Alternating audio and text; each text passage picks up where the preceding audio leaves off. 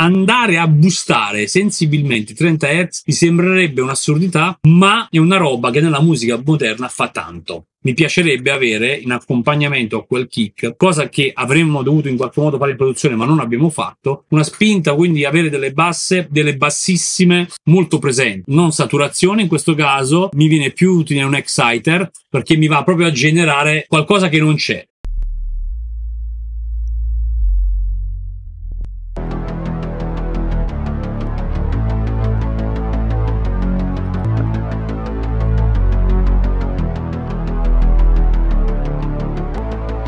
Faccio sentire quando la disattivo anche il kick sembra più scarico, sentite?